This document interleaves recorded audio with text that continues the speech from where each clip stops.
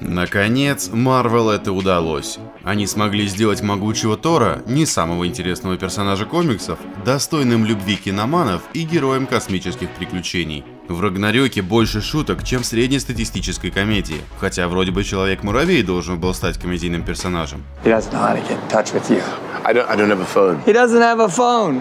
Send a raven. Так как же им это удалось? И вот, фильм отгремел, все пасхалки найдены, но остается один серьезный вопрос. Что это все значит? Большинство моментов были понятны всем, как хорошие победили, а плохие проиграли. Но остается еще множество деталей, в которые мы предлагаем вам погрузиться. Держитесь покрепче, потому что мы разъясним значение концовки Рагнарёка. Ну и очевидно, на пути нас будут ждать спойлеры. Следующая остановка – Оклахома. Итак, Асгард уничтожен огромным демоном Сутуром, разрушительная мощь которого в кои-то веки была направлена на благое дело. Эвакуируя жителей, Тор провозглашает, что Асгард это не место, Асгард это люди. И куда же они полетят? В Оклахому. Наверное. Они, конечно, не решили пока что отправиться в Мидгардские штаты, но есть намеки на то, что в Оклахоме они обретут новое пристанище к событиям четвертого фильма. Тор 4 еще больше Тора на экране. Именно поэтому в 2007 году сын Одина немного обосновался в Америке. Его люди могут найти новый приют в вымышленном городе Брокстоне. Есть ли уверенность в том, что Тор и его люди променяют шлемы на ковбойские шляпы? Нет, конечно. Но учитывая, на какие безумства пошел Рагнарёк, потенциал развития сюжета следующего фильма в центре Америки нельзя упускать из виду. Судьба Хелы.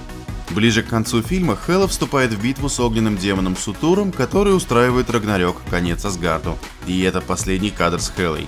Но, как известно, если смерть не показана бесповоротно, шансы велики, что персонаж еще жив.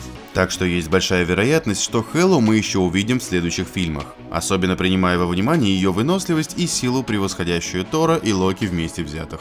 К тому же у нее стойкий иммунитет ко всему, что простых людей могло бы убить. Она же богиня смерти как-никак. Более того, она лишь подпитывает свои силы, находясь в Асгарде, так что скорее всего она жива и надрала зад демону-великану. Тору сейчас нужны все, кто сможет противостоять Таносу, так почему бы не позвать на помощь свою невероятно мощную сестренку? С другой стороны, по комиксам, Танос влюблен в смерть и хочет покорить вселенную, чтобы доказать, что он достоин ее. Хела называет себя богиней смерти, поэтому фанаты предполагают, что она будет сражаться с Таносом, но не против него, а бок о бок. И, кстати говоря, о Таносе.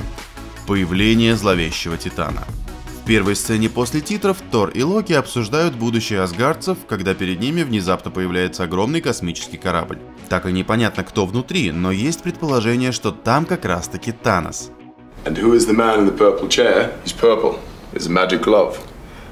Like. Мы уже не первый год слышим о том, что он будет главным злодеем Войны Бесконечности. Учитывая истории из комиксов, велика вероятность того, что асгардцы первыми повстречаются с гигантом. И это еще не все. В июле 17-го Полигон заявил, что небольшой отрывок Войны Бесконечности был показан в закрытом диснеевском фан-клубе. В отрывке было показано, как Тор встречается со Стражами Галактики в космосе. Танос уже знаком со Стражами, а тот факт, что Тор наткнулся на них, Вполне вероятно, что они все наткнутся на Таноса еще до того, как тот долетит до Земли. Камни бесконечности. Войны бесконечности без камней бесконечности быть не может. И мы уже не раз видели их в киновселенной Марвел. Рагнарёк не стал исключением. В небольшом камео Доктора Стрэнджа мы видели его браслет с камнем времени внутри, а в темнице Асгарда находится Тессеракт. Прежде чем взять корону Сутура, Локи остановил на нем свой взгляд. Мы, конечно, не видим, как он его берет, но черт возьми, это же Локи, он точно его спер. Он, наверное, по традиции обведет всех вокруг пальцев в войне бесконечности и предложит Таносу синий камушек. Локи вообще лживый урод, ждите от него соответствующего поведения. Веселый характер Марвел. Прелесть Марвел в том, что они себе могут позволить делать фильмы в том стиле, в котором они хотят. Другая война – шпионский фильм. Человек-муравей – про грабежи, а Человек-паук так вообще один дома, только с паутиной вместо ловушек.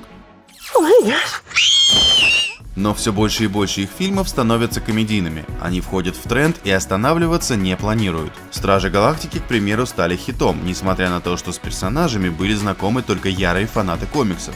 Вы переживали за Грута или Ракету в начале первого фильма? Очень даже вряд ли. Но сейчас все по-другому. А все потому, что оба фильма демонстрируют интересных героев, крутые спецэффекты, взрывной экшен и, конечно же, смешные шутки.